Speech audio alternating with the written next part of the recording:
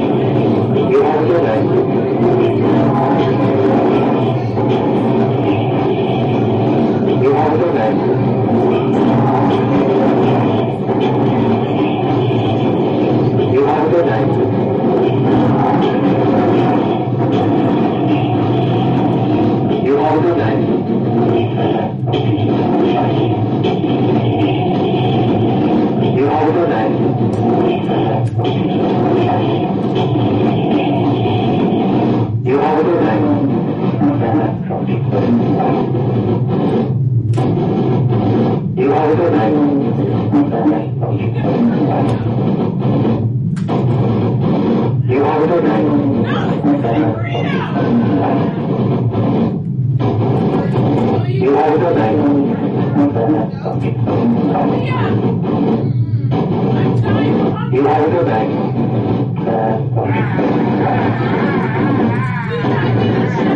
You have to go back. You